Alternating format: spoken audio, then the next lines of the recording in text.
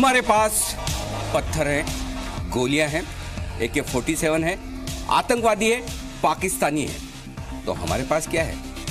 हमारे पास है हिंदुस्तान के जांबाज सैनिक और हिंद की सेना। जी हाँ ज़रूरत है तो सिर्फ़ इस बात की, एक बार उनके हाथ ठीक से, ढंग से खोल दिए जाए।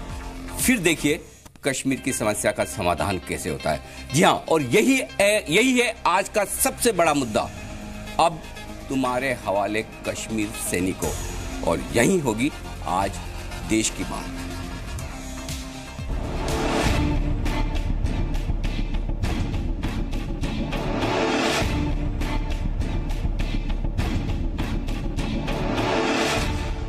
इस साल के सबसे बड़े राजनीतिक ब्रेकअप के बाद कश्मीर पर एक्शन तेज हो चुका है।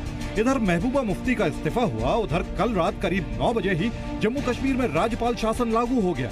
आज सुबह सबसे अहम तस्वीर आई कश्मीर के पुंछ से सुबह करीब साढ़े दस बजे रक्षा मंत्री निर्मला सीतारमण ने शहीद औरंगज़ेब के परिवार से मुलाकात की वही औरंगज़ेब जिनके आतंकियों ने अगवा करके हत्या कर दी थी.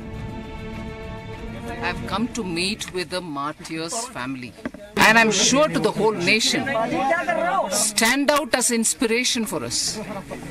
Stand out as an inspiration for us, and that's the message I'm carrying from here. आज सुबह करीब साढ़े ग्यारह बजे जम्मू कश्मीर के डीजीपी एसपी वैद ने कहा कि अब कश्मीर में आतंकियों के खिलाफ एक्शन तेज होगा, क्योंकि सेना और पुलिस बिना रोक टोक के काम करेगी। कल एक स्पेसिफिक इंफॉर्मेशन मिली कि हाइना एरिया है त्राल का, जहाँ तीन जैश ए मोहम्मद के टेररिस्ट छुपे हुए हैं। तो एक जॉइंट ऑपरेशन लॉन्च किया गया, जिसमें आरआर सीआरपीएफ एंड जे के पुलिस की एसओजी ने जॉइंटली उसको एग्जीक्यूट किया और उस एक्सचेंज ऑफ़ फायर में तीन टेररिस्ट मारे गए। आज दोपहर करीब एक बजे गृह मंत्री राजनाथ सिंह ने कहा कि कश्मीर में आतंक का सफाया ही अब सबसे बड़ा मकसद है। लक्ष्य एक ही है कि आतंकवाद समाप्त होना चाहिए और कश्मीर में शांति व्यवस्था कायम होनी चाहिए। और इसी लक्ष्य को सामने रखकर हमारी सरकार काम करेगी। इस तमाम एक्शन के कश्मीर का सबसे बड़ा हमदर्द बनने की राजनीतिक होड़ भी दिखाई दी। राहुल गांधी ने बीती रात ही ट्विटर पर लिखा बीजेपी पीडीपी के अफसरवादी गठबंधन ने जम्मू कश्मीर को आग में झोंक दिया है। हमारे बहादुर सैनिकों के अलावा कई बेकसूर लोग मारे गए। इससे भारत को रणनीतिक नुकसान होगा। यूपीए शासन के दौरान की गई बरसों की मेहनत पर पानी फेर दिया गया। राज्यपाल शासन में भी ये नुकसान जारी रहेगा। सुबह करीब साढ़े नौ बजे राहुल को करारा जवाब दिया केंद्रीय गृह राज्य मंत्री किरण रिजिजू ने। रिजिजू ने ट्विटर पर लिखा सरदार पटेल ने सभी रियासतों का समाधान किया लेकिन नेहरू ने कश्मीर का चार्ज लिया तो परेशानियाँ खड़ी कर दी। हज़ारों लोगों की हत्या की गई कश्मीरी पंडितों को काट डाला गया जबकि एक लाख साठ हज़ार से ज़्यादा लोग बेघर हो गए। कश्मीर को आपके परिवार और आपकी पार्टी ने बर्बाद कर दिया। अच्छी बात यह है कि ऑपरेशन ऑल आउट से अब राजनीति आउट है। यानी सेना चुन चुन कर आतंकवादियों को ठिकाने लगाएगी। इसके लिए सुरक्षा बलों ने तैयार की है 180 आतंकियों की हिट लिस्ट। सर्च ऑपरेशन शुरू हो चुका है और बहुत जल्द घाटी में सेना के निशाने पर होंगे वो आतंकी जिन्होंने रमज़ान में विश्वासघात किया। ये है आज का सबसे बड़ा मुद्दा। और इसीलिए हमने कहा अब तुम्हारे हवाले कश्मीर सैनिकों।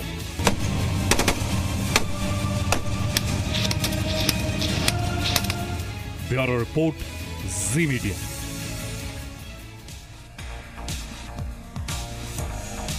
राजनीति बंद और काम शुरू, ये होगा अब कश्मीर में। तो कश्मीर में सॉल्यूशन, इस पर लगातार तीसरा दिन हमारा यही मुद्दा, और वजह भी साफ़ है, क्यों ना हो? क्योंकि जब देश में इस वक्त कश्मीर से बड़ा कुछ नहीं तो देश की बात में भी इससे बड़ा कुछ नहीं।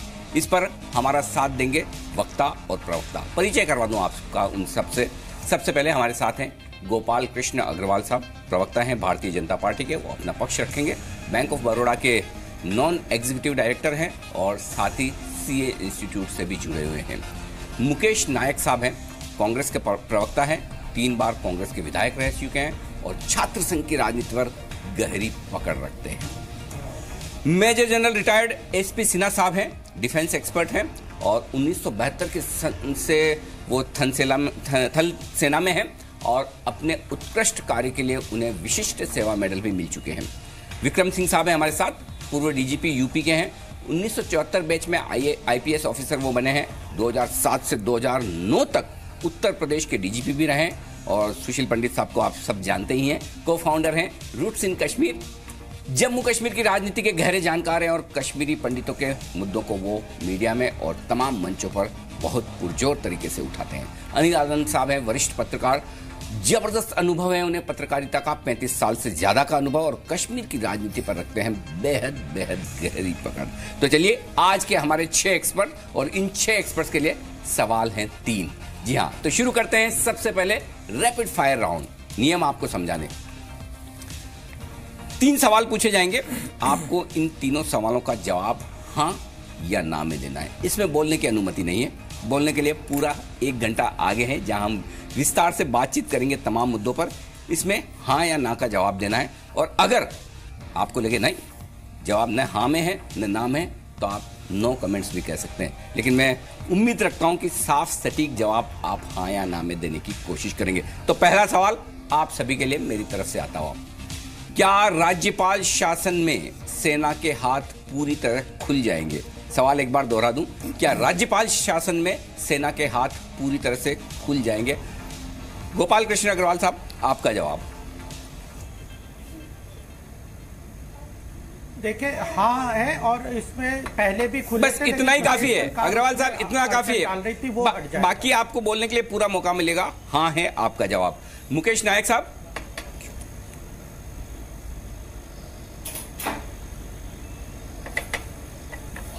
नहीं। नहीं। एसपी सिन्हा साहब आपका मानना क्या है? हाँ हाँ। जी। तो सिन्हा साहब कह रहे हैं हाँ। अब आइए हमारे तीन और वक्ता जो है उनसे भी पूछ लेते हैं। सुशील पंडित साहब बताइए आपका जवाब क्या है? क्या राज्यपाल शासन में सेना के हाथ पूरी तरह से खुल जाएँगे? पता नहीं।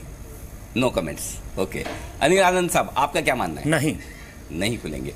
और साथ ही आ, हमारे एक और एक्सपर्ट हैं विक्रम सिंह साहब आपका क्या मानना है? ना। ना। अच्छा तो ये इंटरेस्टिंग दिख रहा है। काफ़ी लोग मान रहे हैं कि रूट्स इन कश्मीर मेरे लिए नहीं कर दिया उसको नो कमेंट्स में लाई अच्छा नो कमेंट्स में ठीक है। सुशील पंडित जी का जो नहीं। हाँ बिल्कुल पता नहीं। देखना होगा। तो इसे नो कमेंट्स में मान लिया जाए। मुझे लगा कि नहीं मतलब शायद आप ना कह रहे कि हाथ नहीं खुलेंगे। आइए दूसरा सवाल रख दूँ। क्या कश्मीर में आतंक के अंत की ये शुरुआत है? सवाल मैं एक बार फिर से दोहरा दूँ आप सबके लिए। क्या कश्मीर में ये आतंक के अंत की शुरुआत है? अग्रवाल साहब आपका जवाब? वर्क इन प्रोग्रेस है एकदम अंत नहीं कह सकते। ओके मुकेश नायक साहब? नहीं। नहीं। सिन्हा साहब? नहीं। जी। विक्रम पंडित साहब? माफ़ कीजिएगा विक्रम सिंह साहब? ना। ना। सुशील पंडित जी? पता नहीं। पता नहीं। नो कमेंट्स आज काफ़ी आ रहे हैं सुशील जी आपसे चर्चा करने में बड़ा आनंद आएगा। अनिल आनंद साहब? नहीं। नहीं। चलिए तो आप लोगों का जवाब भी मिला जुला है इस सवाल पर भी आम राय नहीं है। ओके और तीसरा मेरी और बात फिर से नहीं पे डाल एक्चुअली मुझे लगता है आज वो नो कमेंट्स वाला मामला है नहीं तो कोई बात नहीं। मैं आ, उसमें हाना दोनों नहीं। बिल्कुल। आ, लेकिन तीसरा सवाल और आखिरी सवाल क्या सेना के पराक्रम का राजनीतिक फ़ायदा उठाया जाएगा। ये सवाल बड़ा इंटरेस्टिंग है। क्या सेना के पराक्रम का राजनीतिक फ़ायदा उठाया जाएगा? अग्रवाल साहब हाँ या ना में जवाब दें। नहीं नहीं। नायक साहब?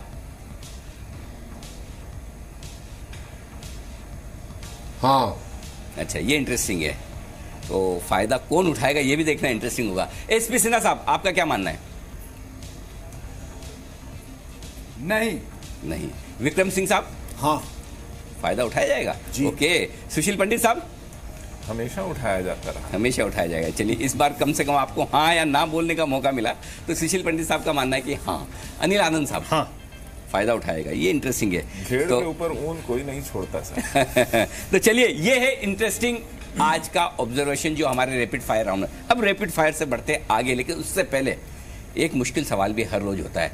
और चिंता न करें, ये मुश्किल सवाल हमारे सारे एक्सपर्ट्स के लिए नहीं है, ये देश की जनता के लिए। तो उसे हम कहते हैं कि आज का कड़क सवाल। जी हाँ कड़क सवाल यह कि क्या अब पाकिस्तान पर दूसरी सर्जिकल स्ट्राइक करने का वक्त आ गया है? जी हाँ सवाल फिर से सुन ले आप। क्या अब पाकिस्तान पर दूसरी सर्जिकल स्ट्राइक करने का वक्त आ गया है? आपके पास जवाब देने के तीन तरीके हैं।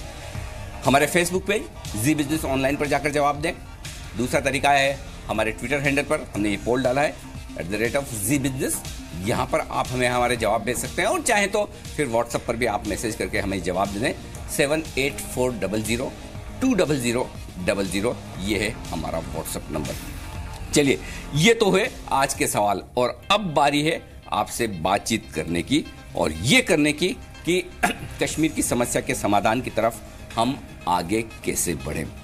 पहला सवाल मुकेश नायक साहब, क्यों आप मानते हैं कि कश्मीर की इस समस्या का राजनीतिक फ़ायदा उठाया जाएगा? अगर अगर अगर सेना के हाथ खोल भी दिए जाएँ, तब भी। ऐसा आपका मानना क्यों है?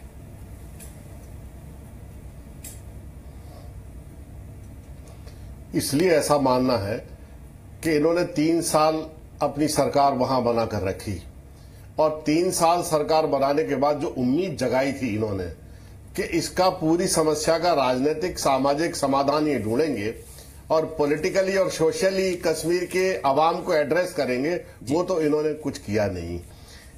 दूसरी चीज़ तीस साल से बीजेपी धारा 370 सभा नागरिक संहिता जैसे मुद्दों को अपने देश में मुख्य मुद्दा बनाकर चल रही है। और वो बिल्कुल तीन साल उन्होंने उसकी चर्चा नहीं की। जो कॉमन मिनिमम प्रोग्राम पर हस्ताक्षर हुए कि इन मुद्दों को शिथिल कर दिया जाएगा सबसे ज़्यादा बड़ी बात तो ये है कि इस पर अमित शाह के भी सिग्नेचर है इनके राष्ट्रीय अध्यक्ष के। मैंने इसलिए कहा कि ये इसका फ़ायदा उठाएँगे क्योंकि जब ये खुद सामाजिक और राजनीतिक हल नहीं ढूंढ पाए जब कोई सरकार अपने राज्य के सूबे की जनता से मिलकर कोई संवाद संपर्क और सामाजिक और राजनीतिक निराकरण नहीं ढूंढ पाए तो स्वाभाविक है कि वो लाभ उठाने के दूसरे तरीके ढूंढता है और यही दूसरा तरीका बीजेपी ढूंढेगी। तो मुकेश नायक साहब जब आप एक उंगली किसी दूसरे की तरफ़ उठाते हैं तो चार आपकी तरफ़ भी आती है।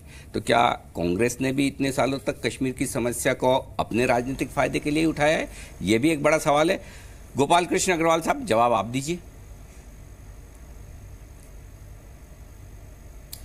देखिए, कश्मीर की समस्या इतनी सिंपल और आसान नहीं होती। और अगर यह जो जवाब देना है, बिल्कुल आपने सही कहा कि यह कांग्रेस को देना है कि उन्नीस सौ सैंतालीस से यह समस्या इतनी विकट क्यों हुई है। और जब आपने मुझे कहा कि यह समस्या का अंत शुरू है क्या, मैं कह रहा हूँ, जब भारतीय जनता पार्टी की सरकार आई, तभी से इस समस्या को सेग्रीगेट करके अलग अलग हिस्सों में बांट के उस पर अलग अलग एक्शन लेने का प्रयास मोदी जी ने शुरू किया था और अंत तभी से उसको उस रास्ते की तरफ़ हम बढ़ गए थे। हम्म। पहली बात है कि कश्मीर की समस्या केवल लोकलाइज नहीं है उसमें पड़ोसी देश जैसे पाकिस्तान भी है उसके अंदर की भी कॉम्प्लिकेशन राजनीतिक समस्या जो परिस्थिति है वह भी उसमें घुस जाती है और फिर international player China America Afghanistan ये सारे भी आ जाते हैं। और फिर वहाँ के यह एक समस्या का अलग स्वरूप है जिसको सॉल्व करने का मोदी जी ने प्रयास किया है हम्म। दूसरी बात वहाँ के लोकल यूथ का जो इसमें जुड़ाव हो जाता है उसको इकोनॉमिक डेवलपमेंट चाहिए आर्थिक विकास चाहिए हम्म। उसके लिए जो हम चाह रहे थे कि ये तीन साल में आर्थिक विकास हो जाए प्रदेश सरकार इस बात में पीस और डेवलपमेंट पे काम करेगी तो वह हम लोगों को एक दुविधा हुई कि वह उस लेवल लाइन पे वो काम नहीं करा जिसके कारण हमने उनके साथ संबंध बनाए थे हम्म। उसके साथ सत्ता में आए थे। तो वह समस्या को अब हम तेज़ी से आर्थिक विकास और इंटीग्रेशन डेवलपमेंट उसके तरफ़ चाहे पेरीफेरल रोड की बात है कनेक्टिविटी की बात है वहाँ पे आर्थिक रोज़गार वगैरह की बात है तो यूथ को उस तरह एंगेज करने का अब हम प्रयास पूरी तेज़ी से करेंगे। चौथा है वहाँ पे क्रॉस बॉर्डर टेररिज्म लोकल लोगों का वेस्टेड इंटरेस्ट हो गया है जो टेररिस्ट इकोनॉमी वहाँ पे चल गई है कश्मीर में। जी, जी, चाहे उसका पाकिस्तान से पैसा आता है या कहीं से आता है तो उसका भी एनआईए और आर्मी और चौथा यह है कि आर्मी को फ्री हैंड देके टेररिस्ट को टेररिस्ट मतलब टेररिस्ट उसको ह्यूमैनिटी और इस सब बातों से देखने का मतलब नहीं है। उनको स्ट्रांगली आर्मी को ठीक बात है। अग्रवाल साहब को खत्म करने का सुनने में बड़ा सुनने में बड़ा अच्छा लगता है बड़ा आसान सा सोल्यूशन लगता है लेकिन आ, इतना आसान है क्या? लेकिन अनिल आनंद साहब एक बात तो तय है।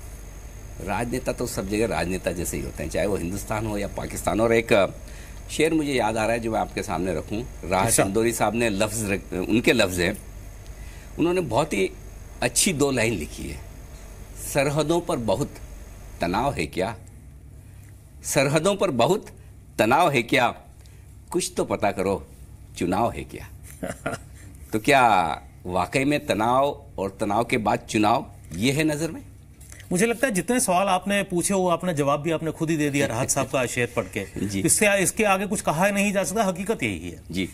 और आ, मुझे नहीं मालूम है कि क्यों तीन साल के बाद होश आई और मैं गोपाल जी को बड़ा अप्रिशिएट करता हूँ बड़ी ऑनेस्टली उन्होंने माना कि हम कुछ काम नहीं कर पाए कुछ चीज़ें नहीं कर पाए। ये एक पॉजिटिविटी है बड़ी सारे सिनेरियो में। बाकी बात यह है कि अब ब्लेम गेम शुरू हो गया और ये कहा जाए कि बहुत ताजुब से मुझे ये बातें कल से सुन रहा हूँ जब से ये गवर्नमेंट गिरी है कि बीजेपी के लोग कह रहे हैं कि साहब महबूबा मुफ्ती हमको काम नहीं करने दे रही थी। और एक दो प्रवक्ता ने तो एक दो चैनल में मैं था उन्होंने कहा कि जम्मू कश्मीर की होम मिनिस्ट्री जो है वो फैसले कर रही थी। तो मुझे बहुत ताजुब हुआ कि कब से जम्मू कश्मीर की होम मिनिस्ट्री देश की होम मिनिस्ट्री से ज़्यादा पावरफुल हो गई। जी। तो अब ये इसके ये मैं ये भी मानता हूँ कि कहीं ना कहीं दोनों लोग मिलजुल के इन्होंने ये फैसला किया। ये कह देना कि महबूबा मुफ्ती को एक एलिमेंट ऑफ़ सरप्राइज़ हुआ उनको पता नहीं था क्योंकि ये परिस्थितियाँ दोनों को बखूबी ये दिखाने वाली बात ये दिखाने वाली बात। दिखाने वाली मैं ये एक्सप्लेन कर सकता हूँ अगर समय हो कैसे दोनों को परिस्थितियाँ तो मैं मैं मान सकता हूँ आपका इतना गहरा अनुभव है पैंतीस साल का तो आप वैसे ही नहीं कहेंगे लेकिन सुशील पंडित साहब आज आप हाँ या ना के बजाय थोड़े से नो कमेंट्स वाले मूड में ज़्यादा दिख रहे हैं। ऐसा क्यों? ऐसा इसलिए कि अब तक इन लोगों ने जब मिल के सरकार चलाई जी। और जो फैसले लिए और जो ज़मीन पे होता हुआ हमें दिखा या जो नहीं होता हुआ दिखा वो अब बदलेगा इसकी मैं आशा तो कर सकता हूँ लेकिन इसके विषय में आश्वस्त रहूँ हम्म। ये स्थिति अभी नहीं है।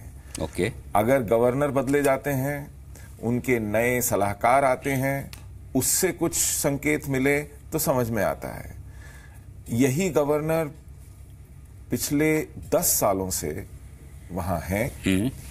और इनके कार्यशैली से मुझे ऐसा नहीं लगता कि वो कुछ ऐसा करेंगे जो केंद्र सरकार की तो मंशा से अलग होगा। आप ये कह रहे हैं कि गवर्नर भी बदलने की ज़रूरत है सरकार के साथ साथ मुझे लगता है कि एक नए तर, ताज़ा दम गवर्नर की आवश्यकता है। एक मिनट। अग्रवाल साहब गवर्नर बदलना चाहिए। ये मांग आ रही है और उन लोगों से आ रही है जो कश्मीर से ताल्लुक रखते हैं क्योंकि पिछले ये बात तो सही है पिछले नौ दस सालों में सिचुएशन कोई ऐसी सुधरी तो है नहीं। ये कांग्रेस भी मानती है भाजपा भी मानती है तो फिर क्या आप गवर्नर बदलेंगे? नहीं देखिए गवर्नर बदलेंगे कि नहीं ये तो अ, सरकार का फैसला है। लेकिन यह बात इनके तरफ़ से आ रही और भी जगह से आ रहा है कि एक दया स्टार्ट होना चाहिए गवर्नर के लेवल पे। लेकिन अभी तक अभी हमने इनको कोई इस तरह से जो तीन साल साढ़े तीन साल में मोदी सरकार ने यह नहीं देखा कि उनकी क्या परफॉर्मेंस है उनकी क्या इफेक्टिवनेस है। और मुझे लगता है कि गवर्नर का वहाँ पे एक लिमिटेड रोल भी होगा इम्प्लीमेंटेशनल रोल होता है। जो ब्यूरोक्रेटिक ये तब था ये तब था जब सरकार थी। आपका पॉइंट अग्रवाल साहब आपका पॉइंट सही है लेकिन ये तब था जब आप दोनों की सरकार थी। अब सरकार नहीं है तो पूरा रोल फिर तो गवर्नर का ही है और अगर गवर्नर का रिकॉर्ड ये है कि उन्होंने काम ज़्यादा किया नहीं डिसीज़न मेकिंग तो केंद्र सरकार करेगी। हम्म, नहीं साहब जी। वहाँ की रोज़मर्रा के प्रशासन में. वहाँ पर स्पॉट डिसीज़न में वहाँ तात्कालिक निर्णयों में वहाँ के प्रशासन में एक गवर्नर की भूमिका रहेगी जो लगभग एक सरोगेट चीफ मिनिस्टर की तरह काम करेगा। ऐसा ऐसा पूर्व में भी हुआ है। आ, गवर्नर की भूमिका पे आऊँ उससे पहले मैं एक बार विक्रम सिंह साहब को भी कार्यक्रम में शामिल कर लूँ। हमारे दोनों ही आ, जो वाकई में फ़ील्ड में काम करने वाले आ, जाने माने ऑफिसर्स हैं उनकी भी एक बार राय ले ली जाए। सिंह साहब क्या लगता है भूमिका किसको निभानी है? गवर्नर को या फिर सेना को? मैं समझता हूँ कि गवर्नर के परिपक्व मार्गदर्शन में ऐसा कार्य होना चाहिए। मैं किसी क्रांतिकारी बात ने को नहीं कह रहा हूँ। क्या अपराधियों को छोड़ना आपका कौन सी मजबूरी थी? पाकिस्तान के चरमपंथियों की महिमा मंडित करना उनकी आरती उतारना क्या मजबूरी थी आपकी? आपको रोहिंग्या ला करके श्रीनगर में बसाना क्या मजबूरी थी आपकी? कश्मीरी पंडित तो आप ला ना पाए। रोहिंग्या को बसाना क्या मजबूरी थी आपकी? इसमें तो कोई वित्तीय संसाधन जम्मू में है कश्मीर में नहीं। जम्मू में क्यों बसाया आपने जम्मू में? आप कश्मीरी पंडित क्यों नहीं ले आए? ठीक बात। तीसरी चीज़ आपने 370 की बात तो भूल जाइए। लेकिन जो बाकी चीज़ें थी आपने चरमपंथियों की संतानों को सालों को परिवार वालों को सरकारी नौकरी दी उनसे बर्खास्त करने में तो समय नहीं लगना चाहिए था। उनके पासपोर्ट और सरकारी सुरक्षा को निरस्त करने में अब भी समय नहीं लगा 24 घंटे होने को आ रहे हैं। मैं गोपाल जी से पूछूँगा कि इसमें प्रमाद क्यों हो रहा है? ये तो तत्काल हो जाना चाहिए था। संदेश खड़ा दीजिए वरना मुफ्ती साहब ने जब शपथ ली थी तो पहले चरमपंथियों को धन्यवाद दिया पाकिस्तान को धन्यवाद दिया ऐसा ना हो कि साहब आप भी ऐसे नकारात्मक संदेश दें जो आपके राष्ट्र के दुश्मन हैं उनके प्रति सिंह साहब ए, एक बात कह सकता हूँ ये ऐसा नहीं देंगे संदेश क्यों? कि अगर ऐसा होता तो फिर सरकार थोड़ी और चला लेते। अगर सरकार गिराई है या सरकार से समर्थन लिया है तो उसका फ़ायदा तो तभी होगा जब एक्शन दिखेगा। लेकिन एक पंडित साहब आपसे मुझे एक सवाल पूछना है। उसके बाद मैं सिन्हा साहब के पास जाऊँगा। जो सिंह साहब ने एक बात कही कि आप जम्मू कश्मीर के पंडितों को तो वापस वहाँ ले जा नहीं पाए। आप जम्मू कश्मीर के पंडित हैं। क्या ये बताएँ कि कोई आदमी अपनी इच्छा से, अपने घर से हज़ारों किलोमीटर दूर रहता है? ये मजबूरी में है, कश्मीरी पंडित दिल्ली में, आपकी तरह, या फिर इच्छा से? नहीं साहब, इच्छा से तो कतई नहीं है।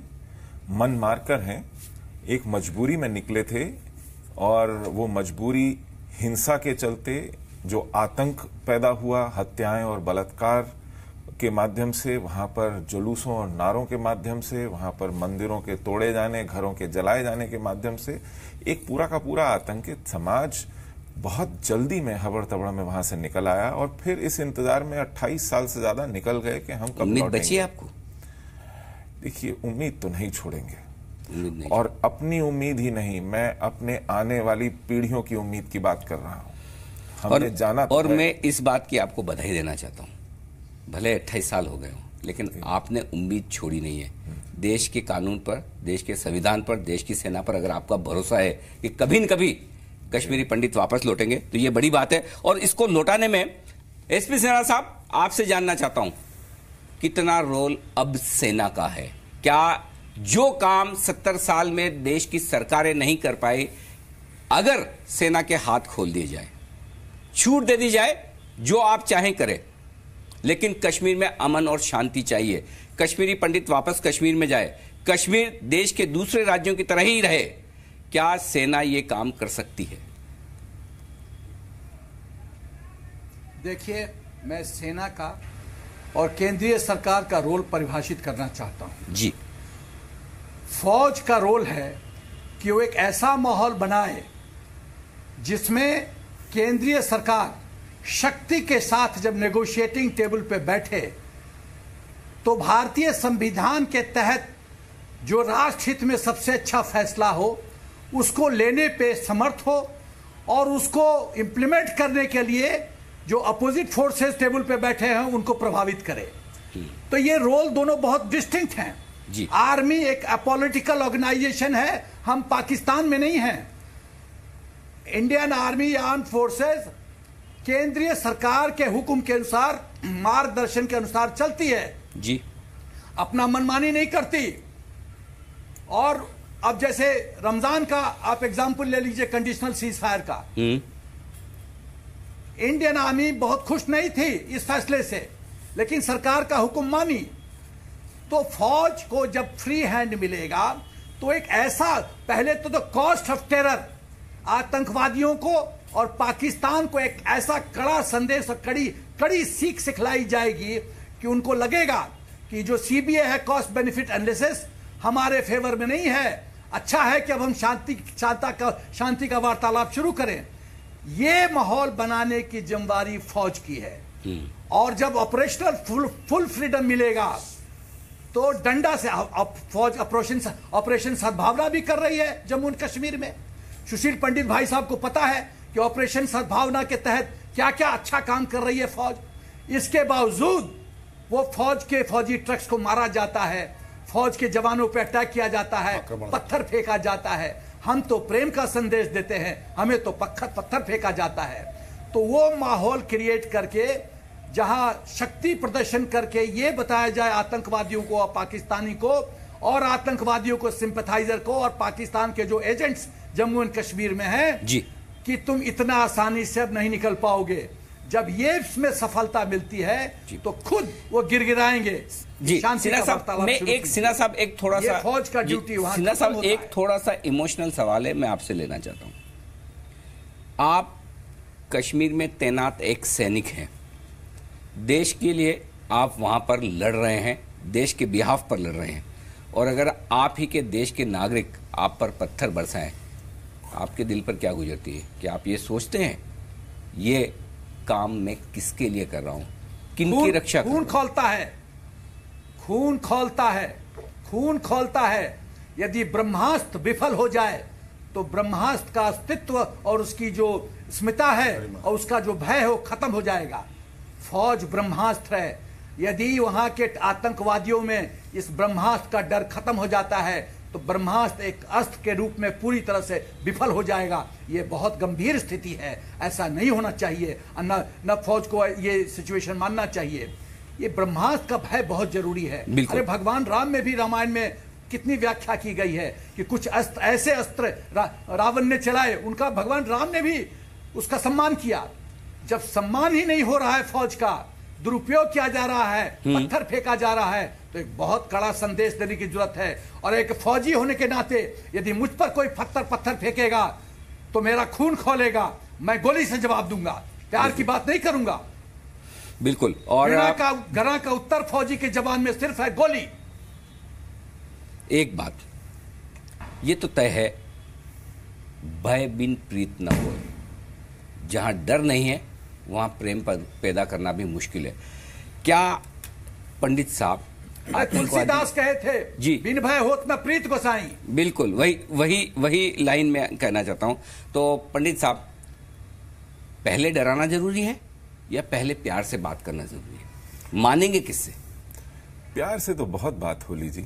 नहीं होगी ना बहुत बात होली सत्तर साल प्यार से इतनी बात होली कि अब लोगों की सब्र की धैर्य की पराकाष्ठा है। और परीक्षा मेरे ख्याल संभव नहीं है। कहते हैं कि जब धैर्य का अतिरेक हो जाता है तो उसको कायरता समझा जाता है।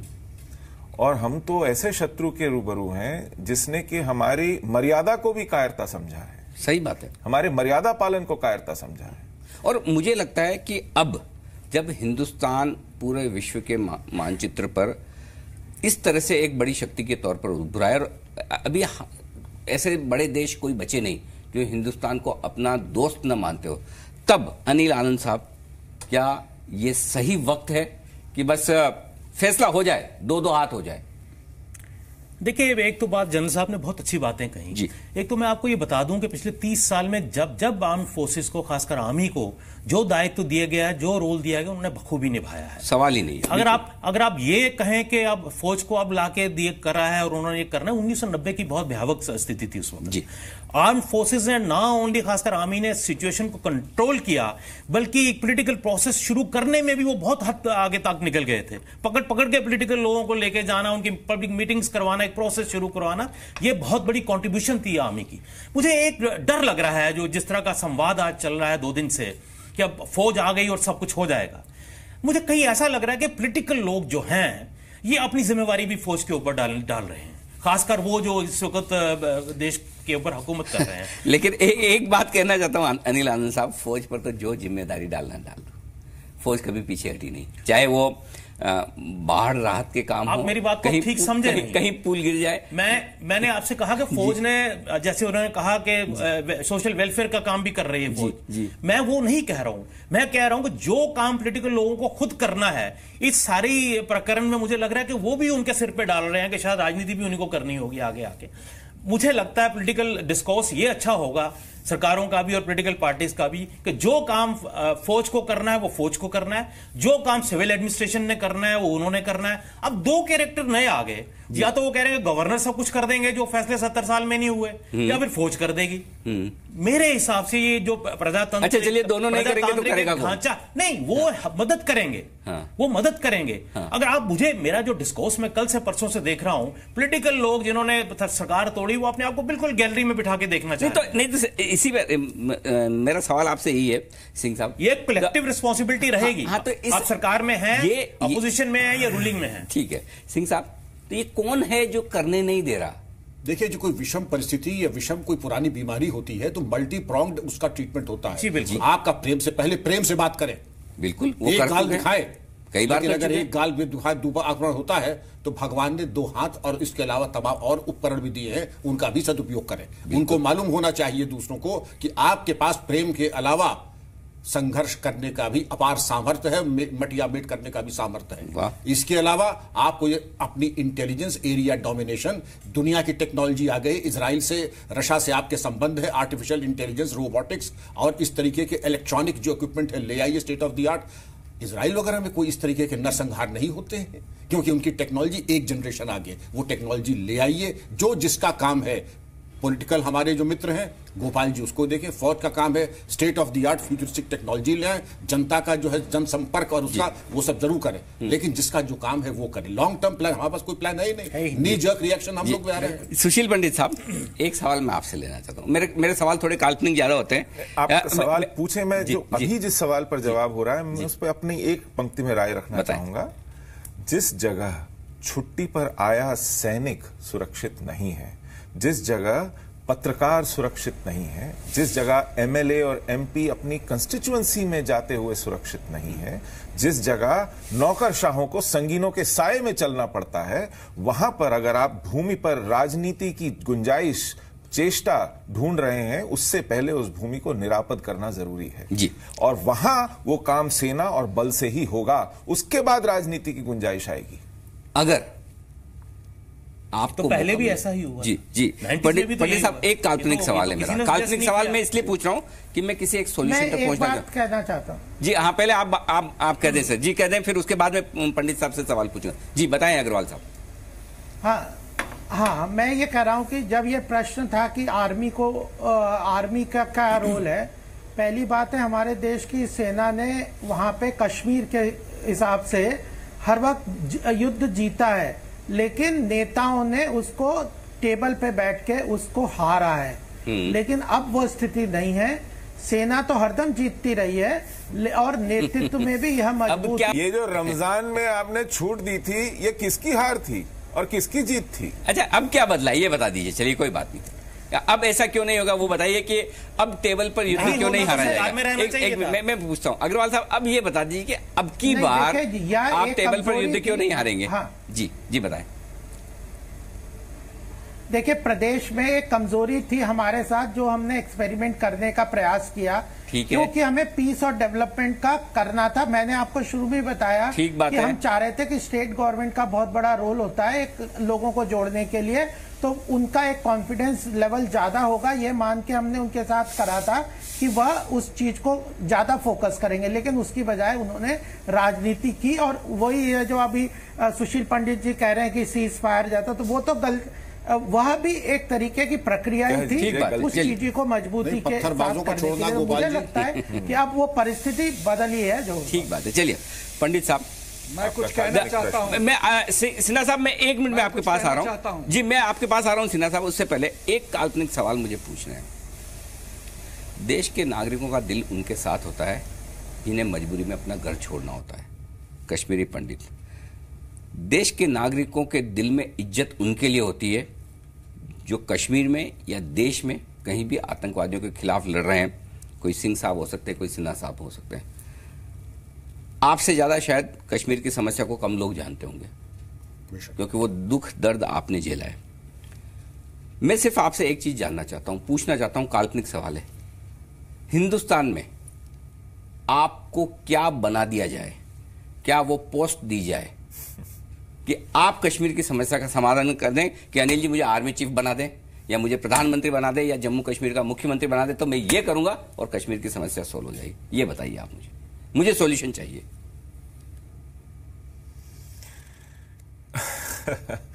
इस व्यवस्था के भीतर रहकर,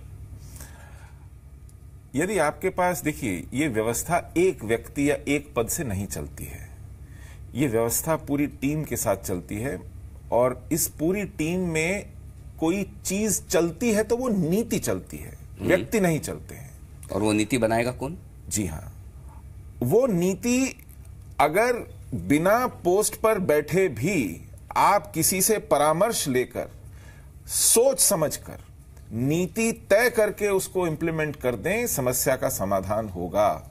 यदि आए दिन उसमें प्रयोग होंगे तो वो नीति फिर नहीं चल पाएगी।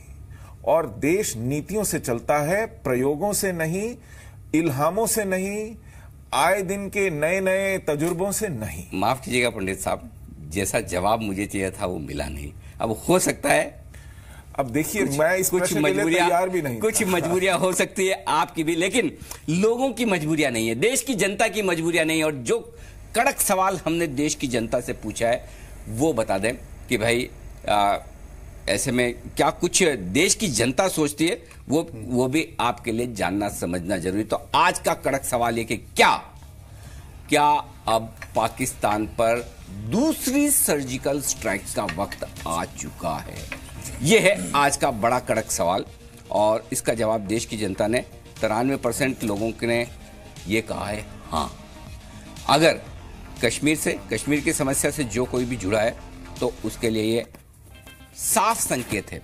साफ़ मैसेज है देश की जनता की तरफ़ से कि देश की जनता क्या चाहती है, किस तरह का सॉल्यूशन चाहती है। और ऐसा नहीं कि देश की जनता को पता नहीं कि इतने सालों से, इतने दशकों से पाकिस्तान की समस्या को जो हल करने की कोशिश की जा रही है, वो नाकामयाब रही है।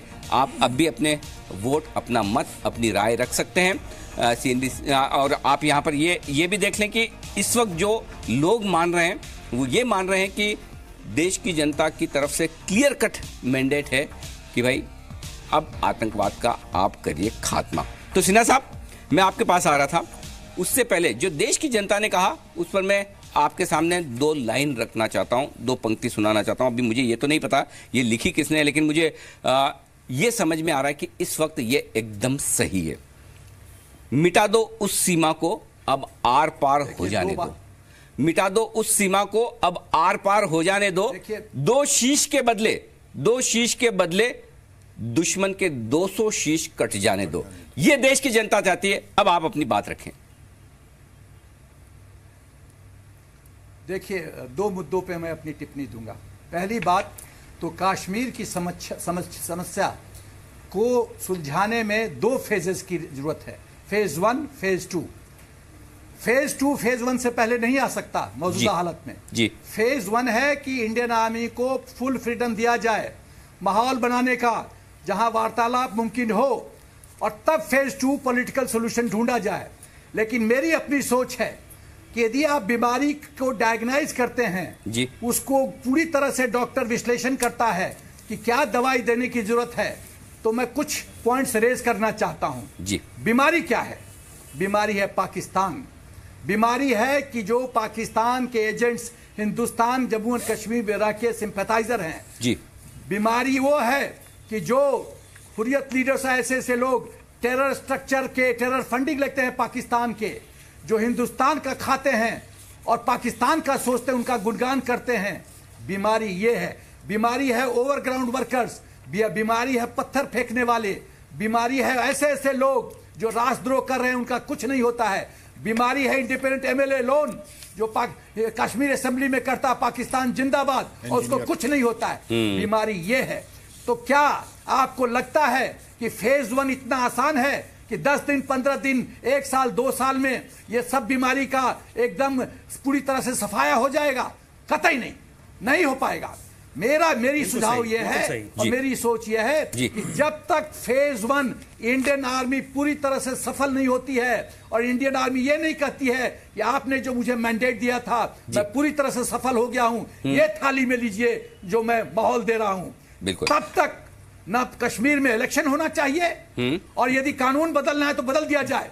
यदि 10 साल 15 साल इंडियन आर्मी को फुल फ्रीडम चाहिए कश्मीर में तो दिया जाए दिया जाए। क्योंकि राज सर्वोपरि है। सत्तर साल से हम लोग सफ़र किए हैं। सत्तर साल से वाजपेयी जी से बेहतर उदाहरण नहीं है कि उन्होंने पाकिस्तान को मौका दिया जम्मू एंड कश्मीर को मौका दिया और कुछ नहीं हुआ। सिन्हा साहब ये और देश हमारे का- औरंगज़ेब ऐसे ऐसे। मुस्लिम होते हुए जो।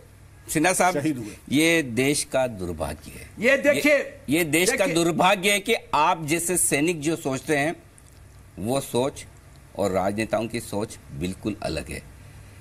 राजनेता और सैनिक एक दिशा में के- कब तो हम और क्या देश के? टुकड़े करना चाहते हैं क्या? दिक्कत नहीं, नहीं, है। जो राष्ट्रद्रोही हैं जम्मू एंड कश्मीर में वो कैसे घूम रहे हैं? हम उनको सिक्योरिटी क्यों प्रोवाइड कर रहे हैं? वो राष्ट्रद्रोह करते हैं हम उनको सिक्योरिटी दे रहे हैं। इतने वो पॉपुलर लीडर हैं उनके मास लीडर हैं। को तो हैं सिक्योरिटी क्यों? और सिक्योरिटी है तो मास लीडर नहीं है। मुकेश नायक साहब ये एक समस्या है बड़ी समस्या है। जो निष्पक्ष पत्रकार हैं, बुद्धिजीवी है, चिंतक विश्लेषक हैं, वो कुछ और सोचते हैं, सैनिक कुछ और सोचते हैं, सेना में उच्च पदों पर रहे हुए पूर्व अधिकारी कुछ और सोचते हैं, लेकिन राजनेता इससे ताल्लुक नहीं रखते। आपका सॉल्यूशन अलग है, इनका सॉल्यूशन अलग है। कौन बदलेगा, ये सब या आप जैसे राजनेता?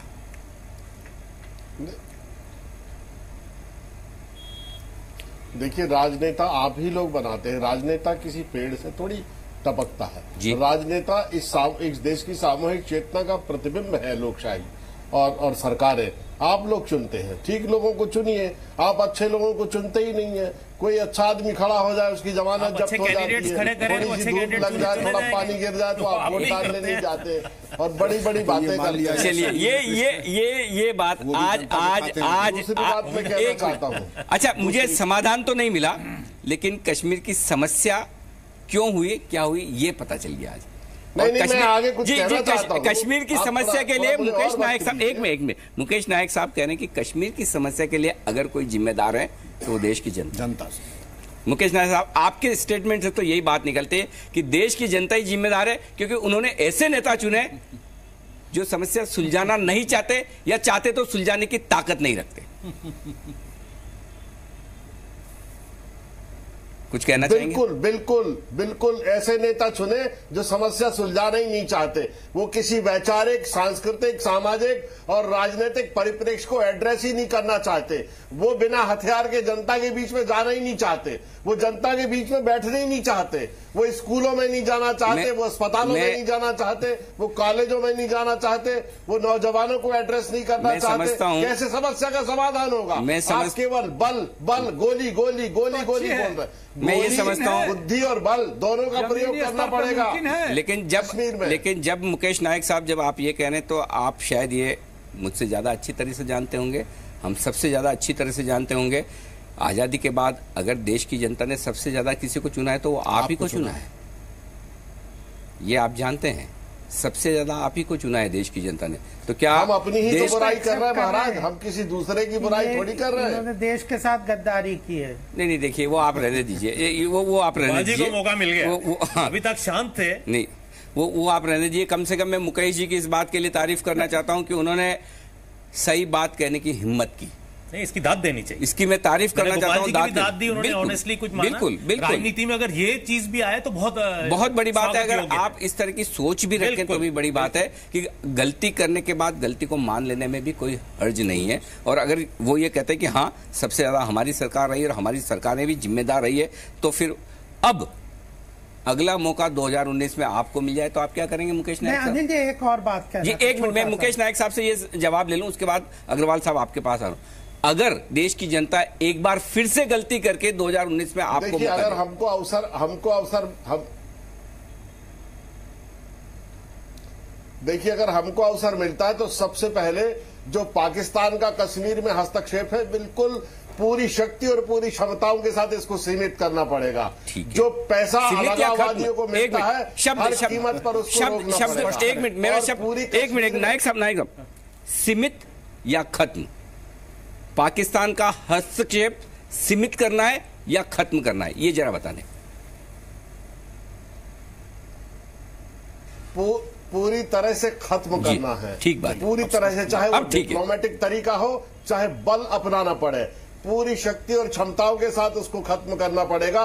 अलगाववादियों को जो पैसा आता है वो रोकना पड़ेगा। नौजवानों को अपनी देश की संस्कृति सभ्यता परंपरा और वैचारिक आंदोलन से जोड़ना पड़ेगा। उनको मुख्य धारा में लाना पड़ेगा। ऐसे नेताओं को खड़ा करना पड़ेगा जो। उनके बीच में रहने की क्षमता रखते हैं। ठीक बात है। आपने बात रखी सिन्हा साहब? कौन साहब बोल जी। मैं नाम जानना चाहता जी सिन्हा साहब ये ये बयान था मुकेश नायक साहब का जो कांग्रेस के प्रवक्ता हैं वो ये बात कर रहे थे। आप क्या कहना चाहते हैं उस पर? ये बताएँ। मैं मैं उनको मैं उनको आईना दिखाना चाहता हूँ। जी। जब मनीष शंकर अय्यर पाकिस्तान जाते हैं उसी पाकिस्तान को आप डिस्ट्रॉय करेंगे। उसी पाकिस्तान को। मणिशंकर अय्यर जब पाकिस्तान अरे छोड़िए को मणिशंकर अय्यर की बात आप रात सब- को चुपचाप मैं मणिशंकर वीडियो अय्यर की बात थोड़ी कर रहा हूँ। उसी उसी को बर्बाद करेंगे आप। उसी उसी को बर्बाद करेंगे आप। जब जब आपके रैलीज में पाकिस्तान का झंडा फहराया जाता है उसी पाकिस्तान को आप बर्बाद करेंगे। आप क्या बात कर रहे हैं? आप जमीनी स्तर के यथार्थ से बहुत दूर हैं। आप काल्पनिक अपनी सोच की व्याख्या कर रहे हैं। यह दुर्भाग्य है। अरे हमने हमारी कांग्रेस की सरकार में ने आप पाकिस्तान के आप पीछे पड़े जमीनी स्तर से बहुत दूर है। हमारी कांग्रेस नहीं, नहीं, नहीं, एक मिनट, एक मिनट, एक मिनट। क्या उन्नीस सौ इकहत्तर एक का मिनट, आपको याद नहीं है एक मिनट एक मिनट तो एक मिनट। सिन्हा साहब। सुधर गया होता। सिन्हा साहब एक मिनट सिन्हा साहब। तक पाकिस्तान एक मिनट। गया होता। एक मिनट सिन्हा साहब एक मिनट। मुकेश नायक मैं कुछ कह दूँ? एक मिनट मैं आ रहा हूँ अग्रवाल साहब आपके पास। सिन्हा 1971 में एक मिनट एक फौज मिनट में नायक साहब आपसे ही सवाल पूछ रहा हूँ। एक मिनट रुकिएगा। सिन्हा साहब और आपके बीच में वाद विवाद जो चल रहा है आप ये कह रहे हैं कि सिन्हा साहब जमीनी हकीकत से दूर है। मुकेश नायक साहब एक सवाल का जवाब दीजिए। ज़िंदगी में कितनी बार आप कश्मीर गए? क्या आप गए मैं कई बार कश्मीर गया हूँ। क्या कश्मीर बिल्कुल मुख्य धारा से बाहर है। क्या और कश्मीर क्या- की समस्या क्या- को एक मिनट, नहीं, नहीं, एक मिनट, मैं- मैं- भी मैं- मैं- मैं आपसे सवाल पूछ। रहा हूँ, कोई प्रयत्न किसी भी राजनीतिक दल ने नहीं किया। एक मिनट सुनिए मेरे सवाल खत्म नहीं हुए सिन्हा साहब से ज़्यादा आप कश्मीर गए हैं? आप ये मानते हैं? जो सेना में रहे हैं। और क्या सिन्हा साहब नहीं जानते जमीनी हकीकत क्या है? जी नहीं। जिन्होंने सिन्हा साहब ने कश्मीर की सड़कों पर धूल वहाँ पर देखी है। जानते हैं। लेकिन वो जिस तरह से मणिशंकर अय्यर का ज़िक्र कर रहे हैं वो बिल्कुल अप्रासंगिक है। इस डिबेट में उसकी कोई आवश्यकता नहीं कर रहा जी नहीं प्रासंगिक। नहीं जी जी नहीं मैं नहीं मान देश के सैनिक दिल धड़कता है। देश के सैनिक को पूरा हक है। धड़कता है। आप अपीजमेंट पॉलिसी में विश्वास करते हैं। आप आप तुष्टिकरण में विश्वास रखते हैं। ये देश का दुर्भाग्य है। मुकेश नायक हिंदुस्तान का सबसे पुराना पार्टी सिन्हा साहब हिंदुस्तान का वो पार्टी जिसने हम तुष्टिकरण में विश्वास नहीं रखते हैं। देखिए, इस देश के हर आदमी को चुके हैं? अपने देश का मुख्य अंग मानते हैं। अपने देश का नागरिक मानते हैं। प्रणब मुखर्जी का स्टेटमेंट सुनिए। एक मिनट एक मिनट एक मिनट सिन्हा साहब। जी का सिन्हा साहब सुनिए। एक एक मिनट मुकेश नायक पार्टी साहब के- मुकेश नायक साहब देखिए अगर आप अग्रवाल साहब की बातों का बुरा माने ना बिल्कुल चलेगा सर। जितना बुरा मानना है माने। जितना उन्हें खरी खोटी सुनानी सुनाए। लेकिन नहीं, सिन्हा एक मिनट एक मेरी बात सुनिए सुनिए सर सुनिए। एक मिनट सुनिए सर सुनिए। सिन्हा साहब को तो राजनीति नहीं करनी है ना? उन्हें तो इलेक्शन नहीं लड़ना है ना? सैनिक हैं सैनिक रहे हैं। आज भले ही रिटायर्ड हो गए हो दिल से तो अभी भी सैनिक है। एक सैनिक का दर्द सुन लेने में हर्ज क्या है? और वो सैनिक जिसने वक्त कश्मीर में बिताया अपनी ज़िंदगी के वो बहुमूल्य लम्हे दिए जो उन्हें ज़िंदगी में वापस कभी नहीं मिलेंगे। वो दर्द है सिन्हा साहब का। और उसे हम थोड़ा आदर करना सीखें तो मेरे ख्याल से ये बेहतर होगा। अग्रवाल साहब आप क्या कहना चाहते हैं? देखिए मैं अभी मयंक साहब में बोला तो मैं कहना चाहता हूँ कि अगर इन्होंने जो जो अपनी परिकल्पना बताई कि हम उन ये करेंगे वो करेंगे इनको जनता ने समय दिया था कर लेते। ठीक है इन्होंने नहीं किया इसलिए जनता ने इनको सत्ता से बाहर किया। जी। तो इसलिए अब ये जो बात समय आपको भी दिया है सर तीन साल में आपने भी कुछ नहीं किया। क्या जनता को वही करना चाहिए आपके साथ भी? इसलिए हाँ। आप भी आपने- आपने भी कुछ नहीं किया तो जनता को आपके तो साथ भी क्या वही करना चाहिए? आपको पाँच साल में ही कर देंगे। बिल्कुल मैं, मैं पूछ रहा हूँ सर। नहीं, मेरा काम है सवाल पूछने का आप चिंता न करें। मैं। आपसे जितने मुश्किल सवाल पूछ रहा हूँ नायक साहब उतने ही मुश्किल सवाल अग्रवाल साहब के लिए भी होंगे इतना निश्चिंत रहे आप। जी अग्रवाल साहब जब इन्होंने नहीं किया लेकिन आपने भी नहीं किया। 2019 में जनता के सामने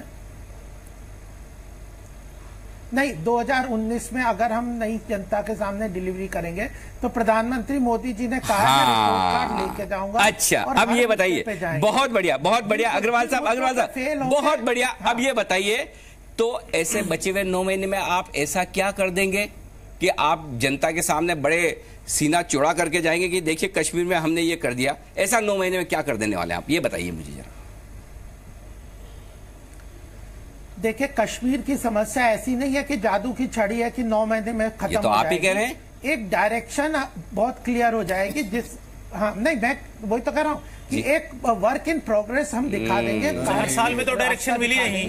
जिस महीने में कैसे मिलेगी? और हंड्रेड परसेंट हर चीज़ में सफल तो नहीं होने वाले दो पाँच साल में जो सत्तर साल का जो समस्या है और ऐतिहासिक समस्या है जिसमें फॉरेन नेशनल फॉरेन कंट्रीज़ भी इन्वॉल्व है उसको आप समझ रहे हो कि एकदम सॉल्व हो हम कई क्लेम ही नहीं कर रहे कि पाँच साल में हम तो कह रहे हैं 2019 के बाद भी हमें और समय चाहिए और हम आएँगे दोबारा और देश की कई समय समस्याएँ उसको सही तरीके ए- से एक बात कह सकता। हूँ। कश्मीर में भी आप बदलाव देखेंगे जी अग्रवाल साहब मैं राजनीति तो नहीं समझता मैं समझना चाहता हूँ लेकिन एक बात कह सकता हूँ अगर इसी बात पे देश की जनता आपको और पाँच साल दे कि आप कश्मीर की समस्या को नहीं सुलझा पाए पाँच साल और ले लीजिए अब सुलझाइए तो फिर अगले नहीं, आप नहीं, एक मिनट मेरी बात बात सुनिए सर बात सुनिए। तो अगले पाँच साल में भी आप नहीं सुलझाएँगे क्योंकि उसके बाद तो हर पाँच साल चाहिए ना आपको ताकि समस्या भी बनी रहे पाँच साल भी मिलते रहे। ये देश का दुर्भाग्य है ये देश का दुर्भाग्य है। लेकिन एक चीज़ जो इस देश में अच्छी हो रही है उसमें एक मिनट उसमें आपकी पार्टी का भी योगदान है वो भी बता दूँ। अगर मैं आपको तीखे सवाल पूछता हूँ तो जो अच्छी बात है वो भी करता हूँ। देश में दो अच्छी बातें हुई। दो तस्वीरें मैं आपको दिखाना चाहता हूँ क्या कुछ अच्छा हुआ है कश्मीर में? वो भी देख लेना समझ लेना ज़रूरी है कि हमारे देश के राजनेता हमारी सेना क्या कर रही है कश्मीर में। ये दो तस्वीरें ऐसी है जो कश्मीर में पिछले 24 घंटों में देखने को मिली है। जी हाँ हमारी रक्षा मंत्री खुद स्वयं शहीद औरंगज़ेब के घर पहुँची। हमारे आर्मी चीफ वहाँ पहुँचे। ये बहुत बड़ी बात है। ये एक शहीद के लिए बहुत सम्मान की बात है और ऐसा होना ये एक अच्छी बात है। कम से कम सरकार और नेता थोड़े सेंसिटिव हो रहे हैं। भले ही किसी भी वजह से हो दबाव मीडिया की तरफ़ से हो दबाव देश की जनता की तरफ़ से हो लेकिन अगर वो इस बात को लेकर संजीदा हो रहे हैं तो हम थोड़ी उम्मीद आगे भी रख सकते हैं। तो ये थी आज की बहस, लेकिन वक्त है सॉल्यूशन का। समस्याएँ तो बहुत है, लेकिन सॉल्यूशन क्या होगा? सॉल्यूशन ये हो सकता है कि पीडीपी के साथ रहने से बीजेपी की सरकार की जो मजबूरियाँ थी, वो मजबूरियाँ तो हो चुकी है खत्म। लेकिन अब सेना को हर तरह से पूरा सहयोग मिलना चाहिए ताकि पाकिस्तान और उसके टुकड़ों पर पल रहे आतंकवादियों ने जो देश के साथ विश्वासघात किया है, उसका बदला लिया जा सके और इसके लिए राजनीतिक फायदों से ऊपर उठकर कड़े और मुश्किल निर्णय करने होंगे। तभी ये बात सही होगी कि वाकई में कश्मीर की समस्या का समाधान किया जा सकता है। बहुत बहुत शुक्रिया आप सबका इस खास शो में हमारा साथ देने के लिए, लेकिन जाने से पहले देश के सैनिकों के नाम एक सैल्यूट तो बनता है, जो अपनी जान की बाजी लगाकर सीमा पर ये सोचकर खड़े हमें पता नहीं गोली कहाँ से आएगी। सीमा के पार से या सीमा के भीतर से। दोनों तरफ़ नज़र रखनी है और ऐसी नज़र रखने वाला काम सिर्फ़ हिंदुस्तान का सैनिक कर सकता है। तो ये थी आज की देश की बात।